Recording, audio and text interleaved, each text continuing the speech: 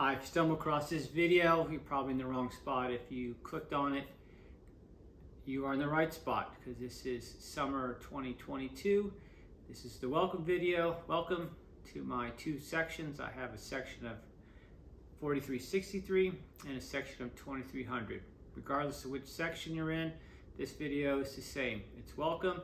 Then let's go right down this page, see what's on it, get over to whichever side the tabs are on and click on the Get Started tab.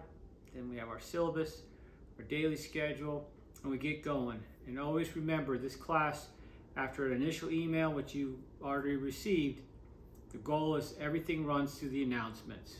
How to do things, where they're found, summaries of those of, assignments that we've done.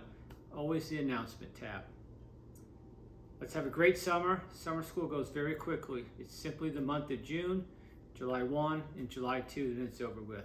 See you in class.